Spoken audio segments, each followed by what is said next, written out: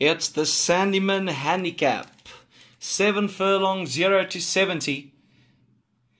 The favorite, and it's a hot favorite, it's Foxley Truffle. A lot of punters' money on here on Foxley Truffle. Winter Queen, 13 to 2. Alfie Flitz, 10 to 1. Some 16 to 1 above the rest of the field.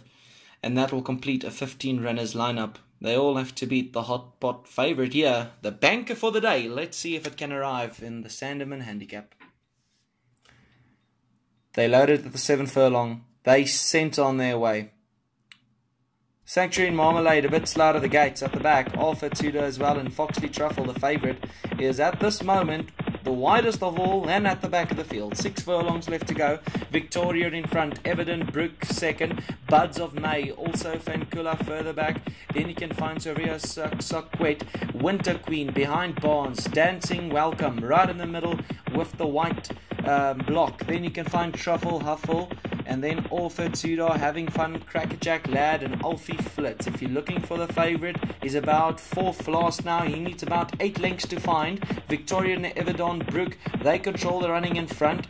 They exchanging the lead with each other. Also, Fancola is back in third. That's the one of the orange silks. Now, a lot of them starting to come around that corner with a lot of speed. Winter Queen behind bars. Buds of May also looking to get into the race. Buds of May is being trapped now. He needs some running room. He looks like he has a lot in store.